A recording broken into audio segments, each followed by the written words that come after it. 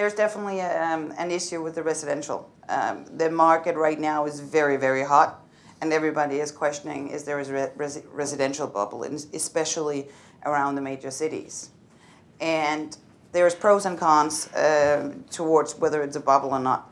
Um, we look at it from a little bit different perspective, and that is that there's fairly, there's actually not really a professional letting market at all in, in, in Norway. The largest, uh, and that is one of the municipalities actually, the largest um, owner of, of rents to let, apartments to let, has two, about 2,000 flats.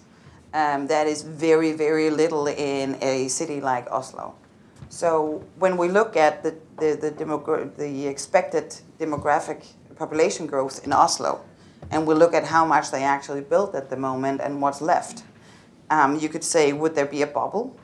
Uh, I don't know. It's, it's supply and demand, and, and the supply is, is not that big at the moment, and demand is quite high. On the other hand, at one point, the Norwegians can't borrow money enough to actually pay the, the, for the flats. Right now, it's up to 100,000 Norwegian krona, which is about uh, 13,000 euros for square meter, uh, per square meter apartment in the best locations in, in Oslo. It's crazy compared to Oslo. Probably not to certain places uh, in London and everything, but for Oslo, it's crazy. So yes, there is definitely a bubble. The question is, will the um, very strong economy of Norway and the supply demand, will that actually prolong this bubble until it bursts, or will it burst within the next few years? What we see with Norway is that there's a number of, of funds, and you can probably elaborate on that, that has to close within the next few years.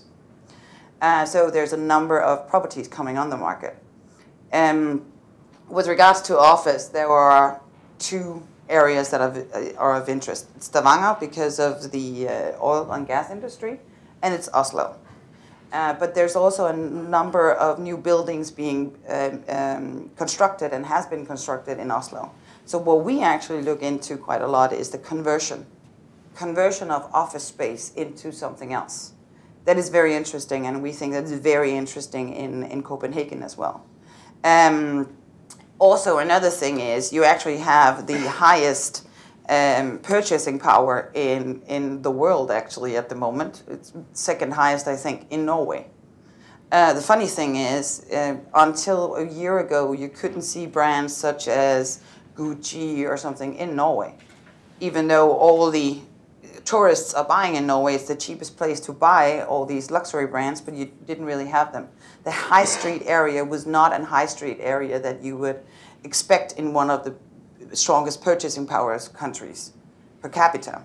Uh, so that's uh, something else that we look into. And, and Madison just invested in, uh, in Soilen, who is actually looking into this.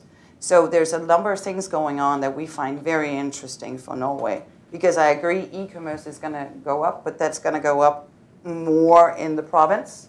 I don't think it's going to go up in the middle of the cities because you still want to go out and touch it.